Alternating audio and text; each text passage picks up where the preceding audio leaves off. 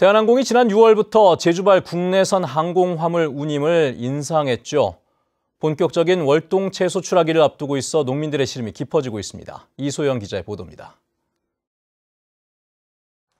브로콜리 농사를 짓고 있는 현대진 씨. 신선도를 요구하는 채소다 보니 항공 수송에 의존하고 있지만 운임료가 올라 걱정이 큽니다. 물량이 많이 나갈수록 계속적으로 손해라는 얘기입니다. 많이 나갈수록. 항공 운임이 왜 갑자기 이렇게 뭐 몇십 원 뛰는 것도 아니고 500원씩 뛰면 농민 그 항공 운임 항공을 보내지 말라는 얘기지. 대한항공이 지난 6월부터 제주발 항공화물 운임료를 킬로그램당 130원에서 180원으로 50원 인상하면서 항공 수송에 의존하는 월동 채소 재배 농가들의 근심이 커지고 있습니다.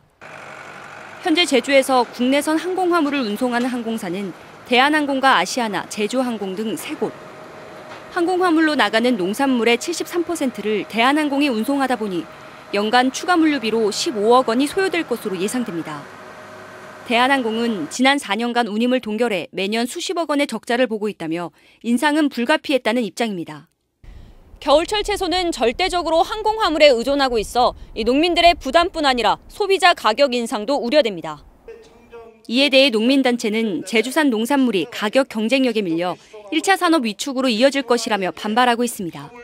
운임비를 내릴 수 있는 방안을 마련해야 된다고 생각하고 있습니다. 그래서 대체 항공을 빨리 하든가 아니면은 그 기존 그 항공 업체들을 가격을 내릴 수 있는 방안을 빨리 강구해야 된다고 봅니다.